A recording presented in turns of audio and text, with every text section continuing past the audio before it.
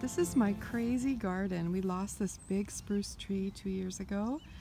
It was a favorite tree. It was towering, and when we did, we decided to make it into a garden, and it's like this octagon shape. All veggies, um, with a couple flowers here and there, and some weeds because they're beautiful. And we just control them, but we let them have their space too. I've got morning glories growing everywhere, and peas and beans, and an artichoke, and tomatoes, and zucchinis, and cucumbers, and lettuce, and dill, and basil, and tomatoes, and Swiss chard, and um, Brussels sprouts, and all sorts of things. And we have green beans, and we have peas. And today, for our lesson, we are going to paint some pea pods because they're so lovely and they teach us a lot about negative space and about mixing beautiful greens. And I just want to highlight our tree trunk in the middle that we left. We have some succulents growing there. And then my husband is a writer, so we hung an old typewriter and then a picture frame for the artist in the family. so anyways, this is our crazy garden. And um, yeah, so I'm going to go inside now and begin. Welcome. Hello.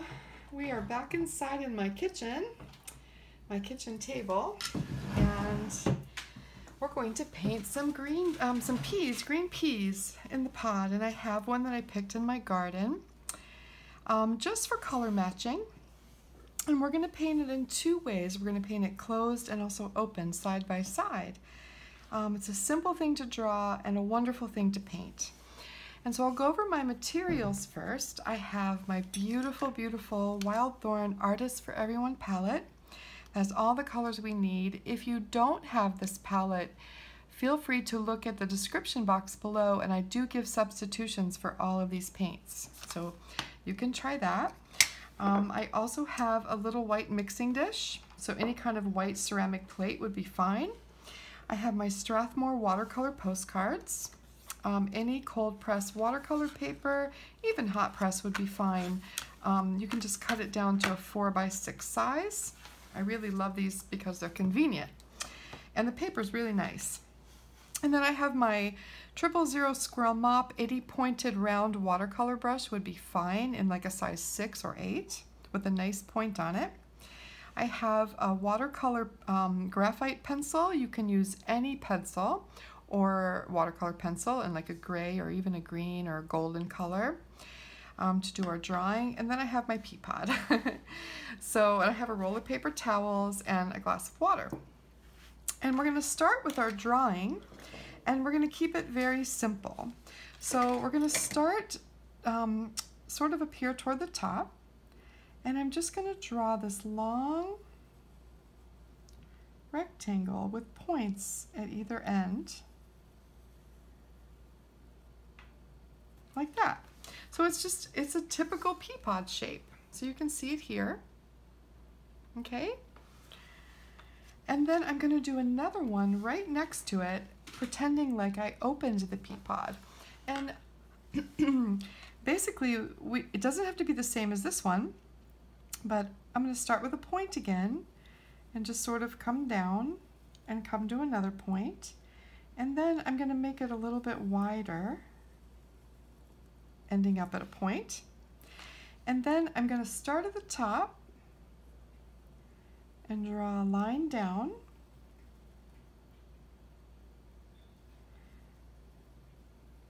And then bring it up again to here.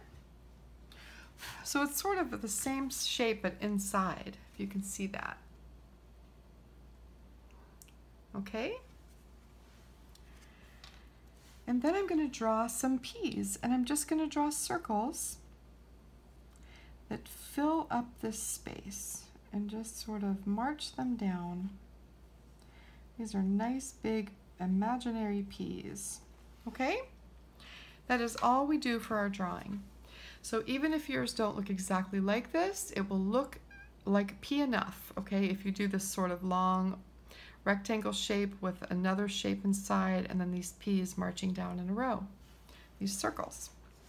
Okay, so once that's done, I am going to take a kneaded eraser and I'm just going to lightly go over my drawing. And just make sure I don't have too much of the watercolor pencil um, or pencil drawing on my paper. And then once that's done, I just brush it off. You can, if it's a watercolor pencil, it's not going to matter as much if the lines are dark, but I like to lift some of it off. Okay? Now I'm going to move this aside for a second because we're going to mix up some greens.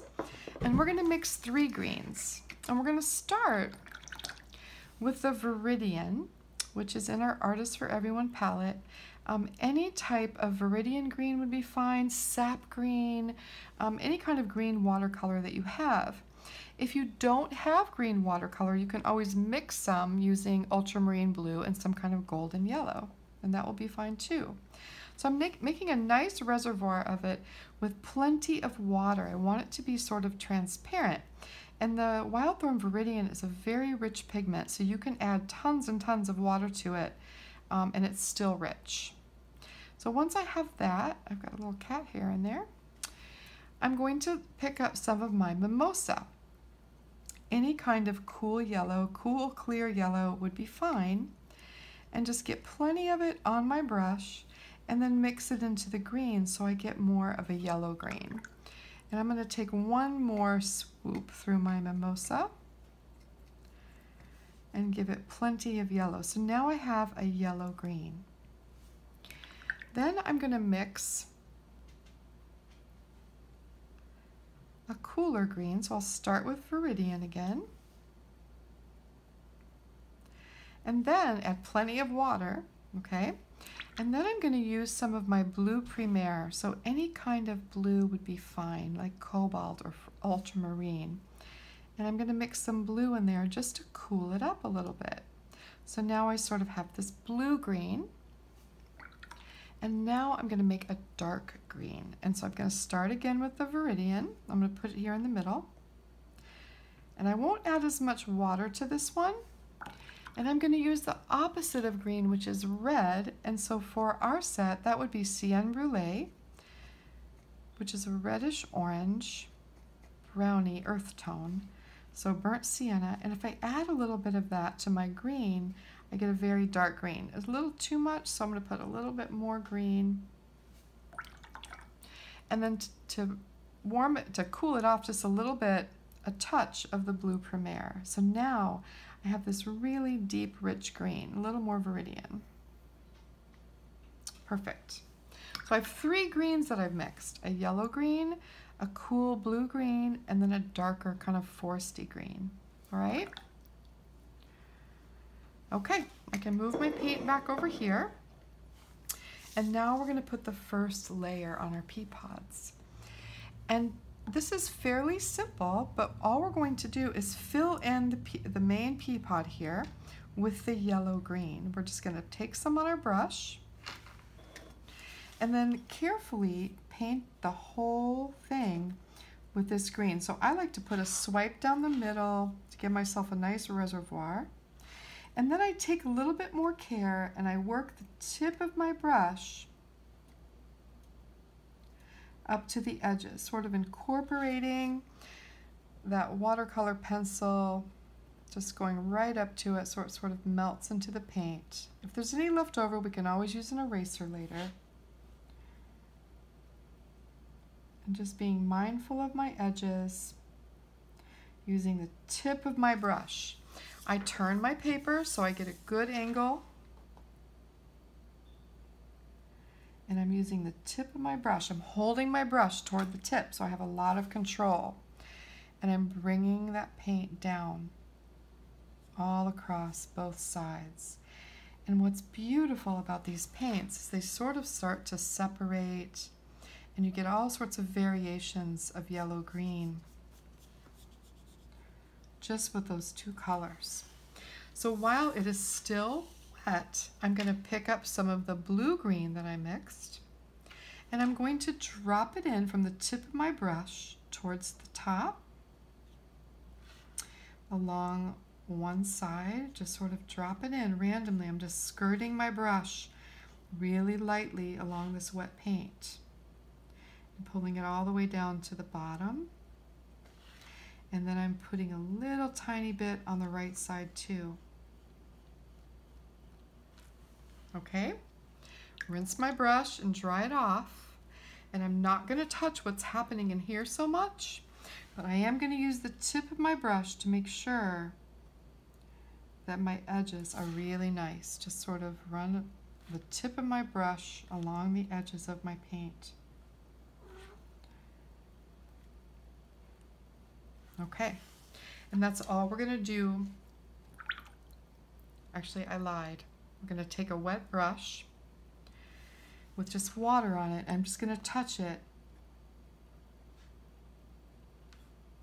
here and there down the center, just to sort of make that paint spread a little bit more.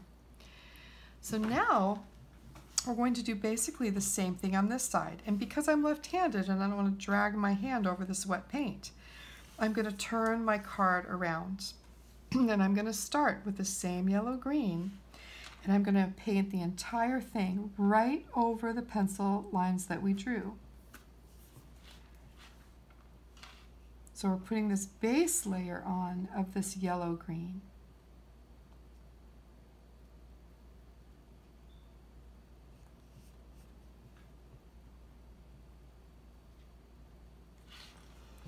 pulling it all the way down and I'm always thinking about turning my paper when I need to. Okay, so I'll be careful over here. I just, I get a better angle if I turn my paper. All the way to the tip, all the way on the other side, right up to our pencil line. You can see that some of the pencil line is starting to dissolve into the painting, but I can still see those marks that I made for the peas. And while it's still wet, I'm going to rinse my brush, dry it off, take some of that cool green, drop a little bit, just like I did on the other one, a little bit at the top, here and there around the edge, just a little bit to give it some variation. Tiny bit down this side. Okay. Then I'm going to rinse my brush again, dry it off. Pay attention to my edges. Make sure I can just take a clean damp brush and run it along the edges to make sure that I have a nice edge.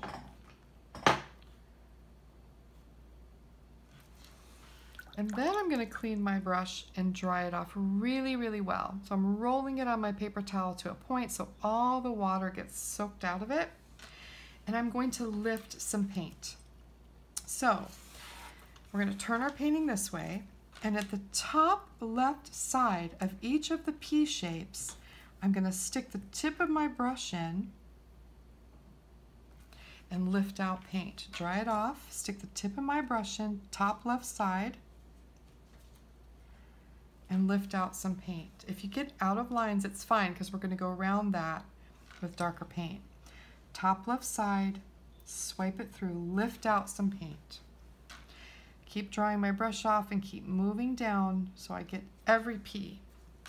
And what this does is it sort of gives us a highlight because those peas are shiny and we want them to look shiny. Now,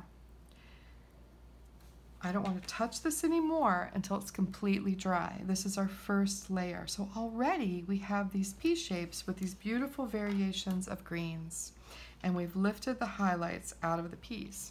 Okay, so we're going to let this dry completely and then we will come back for the next step.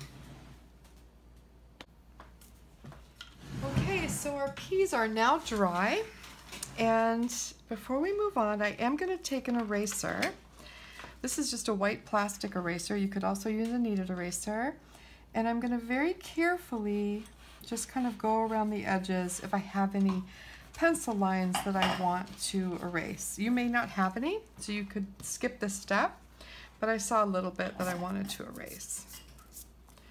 Okay, now, now we're going to give our peas a little bit more shape. So I'm going to start with the, the cool green get some paint on my brush and then sort of dry it off a little bit so there's not too much. And I'm going to put a little bit of the cool green up here toward the top and a little bit down the left side of this pea pod and then a little bit down here at the bottom and then also along the right side.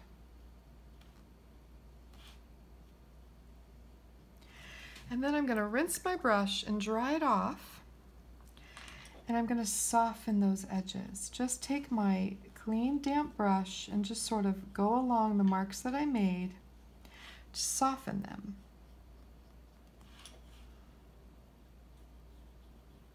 And that just gives a little bit more definition to the edge of our pea.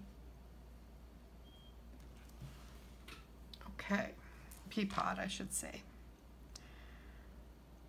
just softening it in here and there.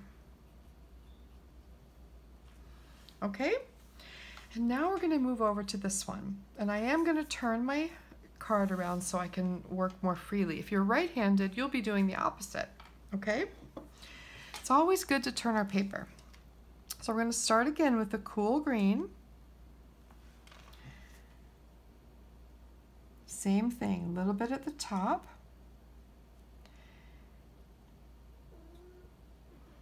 a little bit down the sides.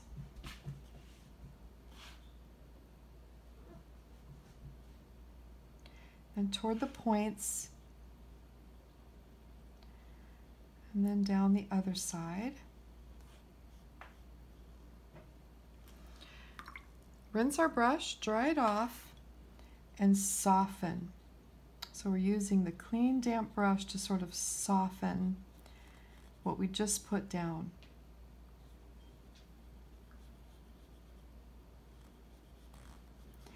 And what softening does is it just it just makes it so there aren't any harsh lines. We get that depth of color, but without any harsh lines.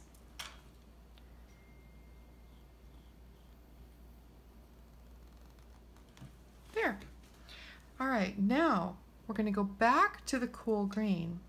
And this time, we're going to take our time and we're going to go around each pea inside the pod. So we're going to start where the opening is. And we're putting this cool green down. And we're moving around the edge of the pea. So not too much paint on the brush like I had. just sort of fill it in. And you see how I'm just, I'm moving down each section and I'm going around the peas. So I'm isolating them with this darker green color.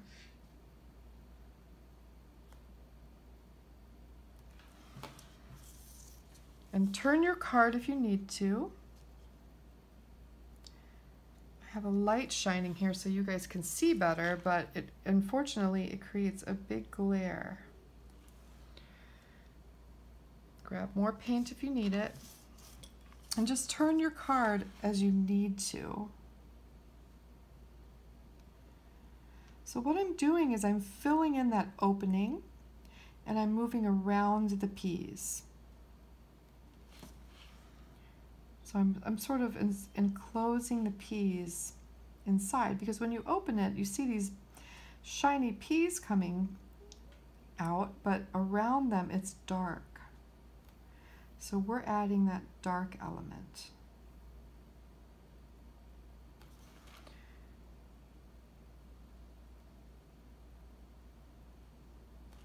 Okay? So once that's done, I'm going to grab some of that darker green. And while it's still wet, I'm just going to touch in the darker green along the edges where the peas meet one another, in between these circle shapes. Just adding in some of this darker green. And especially at either end where it kind of comes to a point.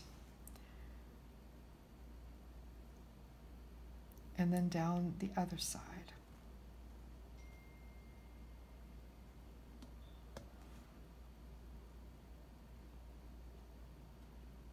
I'm using the tip of my brush. Rinse my brush, dry it off and roll it to a point. And then I'm going to soften everywhere that I've that I see an edge.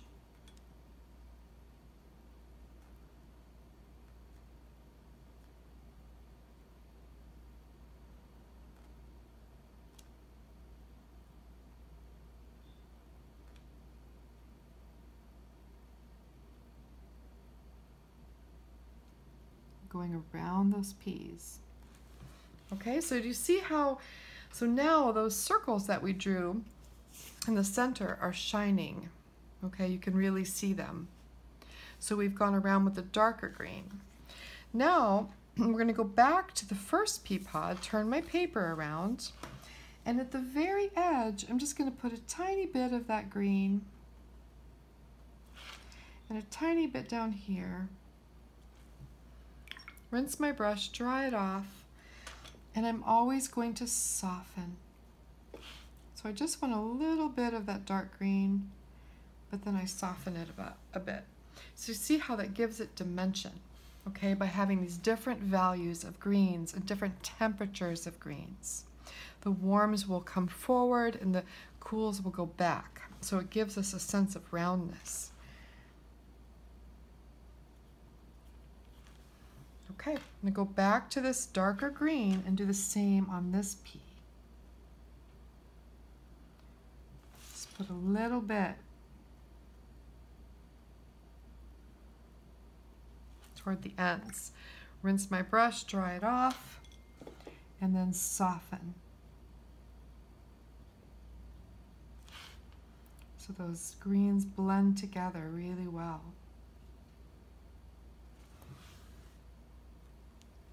Now, I'm going to go into my paint box and take some of the ochre leger. So yellow ochre would be fine too.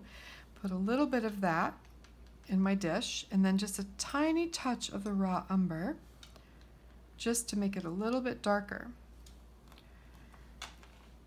And then at the end, I'm gonna put, bring out just a little bit of this color from the very tips. You know how peas have that little bit at the end.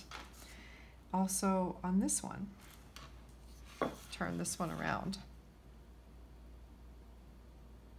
There. Okay. Now I notice that I got a little bit out of the lines on my peas. So what I can do is I can take a clean damp brush, the very, very tip of it, all right? And I can just rub it back and forth and get rid of some of the areas where I went over the line into the pea where I want it to be lighter. And it's just lifting that green paint right up. And it's just making them a little bit more round.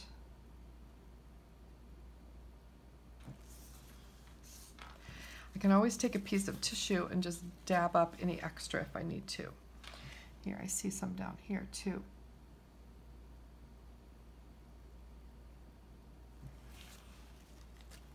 There. So really, for all purposes, they could be done now, but I like to take it a little bit further and give it a little bit more contrast.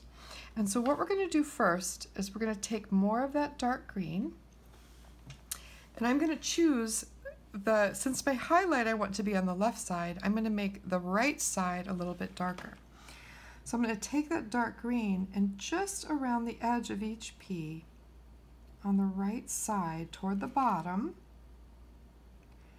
I'm going to put a little bit of this dark paint and definitely in between where the peas meet.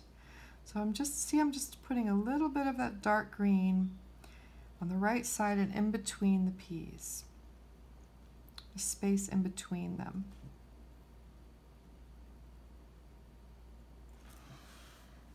There. I'm also going to take a tiny bit of that dark green and I'm going to put some right where the point is of the opening. See that? Turn it around and I'll do this side. So right where that point is in the opening, I'm making it a little darker. Okay, so I'm really happy with this. So if you ever feel you need a little bit more, you can always add a little bit of more dark. You can't necessarily make it lighter, but you can always add a little bit of darkness if you need to. So now I'm going to let this dry completely because we want to put a little glaze on our peas. Um, but first, actually before we do that, let's go ahead and actually paint the inside of the piece. So we're going to go back to that yellow green. And we're going to mix it up and put a little bit in an empty spot on our palette and add a little bit more water to it so it's nice and transparent. And then I'm going to take clear water and I'm going to paint clear water on the inside of my pea actual pea, the circle. Pick up some of that yellow green and then drop some of it into the pea. And then I'm going to swoop it down toward the right side. So I'm just giving it a little bit of color. So again, clear water, kind of avoiding that upper highlight area on the left side. Mopping up any extra water if I need to, just by drying my brush and putting that damp brush back into the pea, picking up the yellow green, and then just dropping it in on the lower right side. And I'll just go up through the other ones. Clear water toward the right side. Picking up the yellow green and just dropping a little bit in on that right side clear water. Wasn't that clear. Yellow green and dropping it in on the right side. And then one more time, this little pea at the top, a little bit of clear water. A little bit of yellow green, dropping it in. So that gives our peas a little bit more color. Now we're going to let it dry and then we'll be back to put a final glaze. All right, so it's time for our final step and we're going to put a glaze on our peas. And we're going to start with the mimosa and get a nice little puddle of mimosa in, our, in one part of our clean palette. And then pick up some of our leftover yellow green and add it in. So it's a really vibrant yellow green. And then add even more water so it's nice and fluid and transparent. Okay? And we're going to start on the pea pod on the left and we're just going to go over the entire thing with this beautiful glowing yellow green. And what this does is it sort of unifies all the layers that we've put down and it gives it some vibrancy and life. We're just pulling it down all across, okay? And then we're going to do the same on the other pea pod, but while we're doing it, so the upper left-hand corner is our highlight. And so the first thing we're going to do is we're going to go around each of those highlights with our yellow green. So I'm going to turn my card and just know that it's going to be on the lower right. And I'm just going to put the yellow green wash in a circle around those highlights. I don't want to get any of that paint in the highlights, so I'm just surrounding them so the paint will stop. And then I can paint more freely and put the yellow green wash down avoiding those highlights.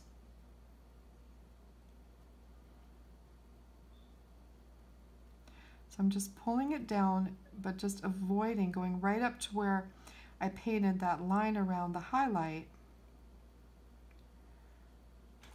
And see it just avoids going into that highlight. So I am painting some of the pea, but I'm avoiding where I circled, um, encircled the highlights.